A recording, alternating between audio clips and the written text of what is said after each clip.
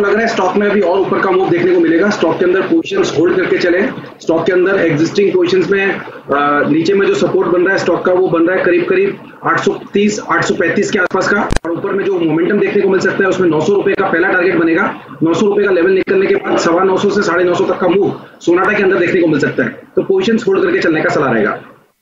विप्रो है IT stock में बहुत अच्छी मूवमेंट देखने को मिल रही है तो विप्रो मेरा चॉइस रहेगा इस इस काउंटर पे खरीदी करने का। 600 का एक साइकोलॉजिकल बैरियर इसने तोड़ दिया है, और इसके साथ साथ जो इम्पोर्टेंट लेवल है पिछले तीन दिन का कंसल्टेशन ये भी तोड़ दिया है। तो मेरा मानना है इधर से अच्छी खासी अपनों आपको देखने को मिल जानी चाहिए।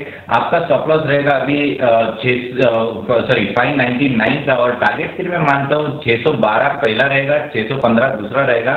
ये दोनों टारगेट के लिए लॉन्ग पोजिशन क्रिएट करने की सलाह होगी।